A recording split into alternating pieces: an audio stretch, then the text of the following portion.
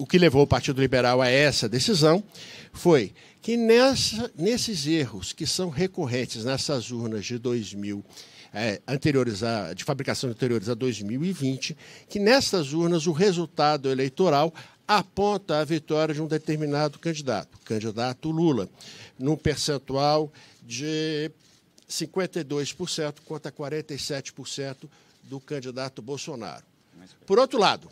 nas urnas novas, em que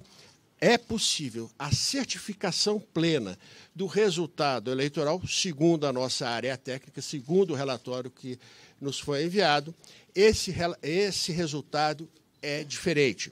Nesse caso, o candidato Bolsonaro teria 51%, cerca de 50, pouco mais de 51% dos votos, e o candidato Lula teria 48,95% dos votos.